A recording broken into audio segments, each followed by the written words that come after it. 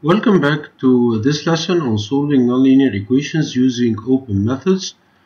Uh, in the previous videos we introduced the Newton-Raphson method, we saw how to derive it uh, and uh, we applied it on an example as well as uh, presenting a, a, a, computer program to use the Newton-Raphson method for the solution. In this video we will introduce uh, the secant method as you will see, it looks a lot like Newton-Raphson, as and also it looks like uh, the false position method we had in the bracketing methods. Uh, in the secant method, we start with two initial guesses.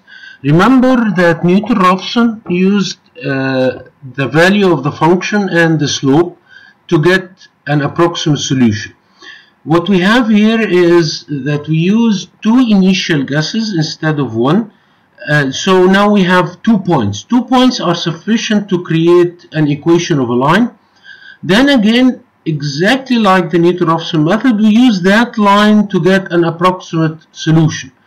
We use this new point with the one that's uh, before it to, to create a new line and so on until we uh, uh, get to the uh, root. So we first set the equation, the equation of the line using the two uh, values uh, x1 f of x1 and x0 f of x0 to get the equation of the line.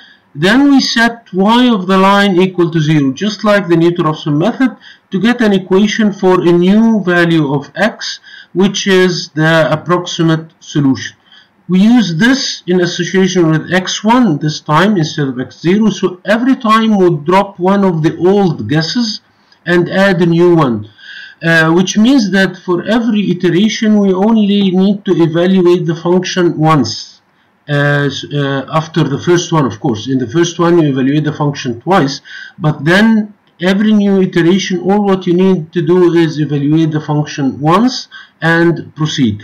Which actually brings back to mind the bracketing methods where we only needed to evaluate the function once and then decided which points to use. Here we don't need to decide it's just the new one plus the one before it and so on so as a matter of fact, the algorithm becomes uh, the same like the Newton-Raphson with uh, a, sim a, simple change.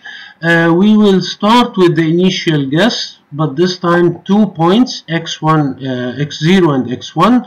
Evaluate f of x0 and then evaluate f of x1. Here I'm separating the evaluation in two lines because uh, in this algorithm, each time I'm going to return to this point not to that. So I'm only, only going to evaluate a single, uh, uh, evaluate the function uh, once every uh, iteration.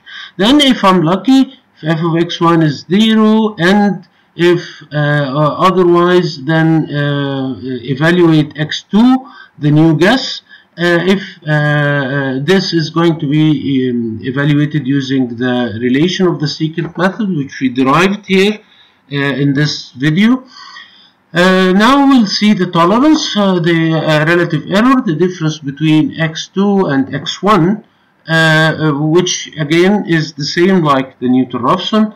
Uh, if if we didn't break here, if the tolerance is still, sorry, the error is still larger than the tolerance, then all what we do is we shift the values. We set x0 as equal to x1, f of x0 equals to f of x1, then we put the new value x2 in the x1 and return to the line where we evaluate f of x1.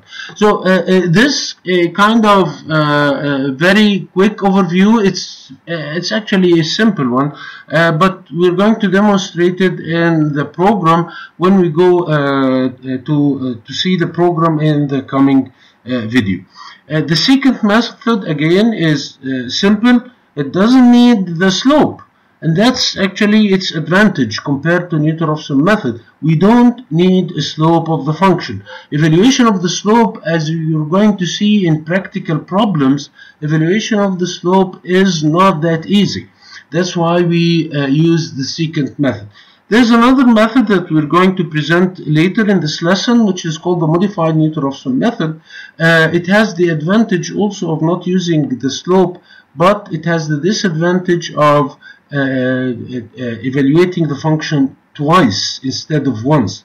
However, it has other advantages we are going to, as we are going to see uh, later.